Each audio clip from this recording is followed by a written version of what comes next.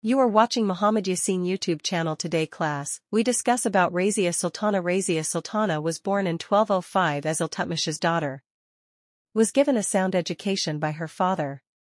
She was the first and last Muslim woman to rule over Delhi. Also known as Razia al-Din. Before ascending to the throne of Delhi after her father's death, the reign was briefly handed over to her half-brother Ruknuddin Firoz.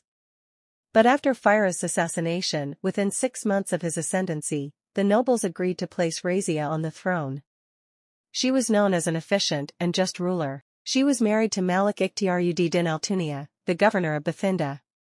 She was reportedly killed by her brother's forces. Her brother Muazuddin Bahram Shah succeeded her.